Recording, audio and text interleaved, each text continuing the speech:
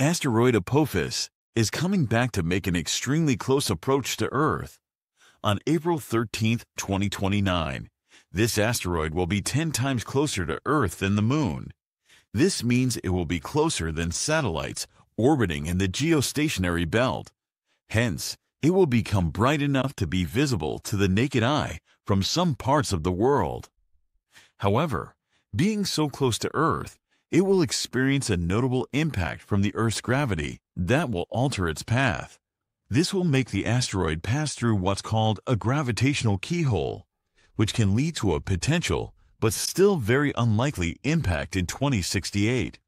This means that the Apophis's close approach of 2029 is not something to be feared, but something to embrace, as it will allow us to study the rock in detail.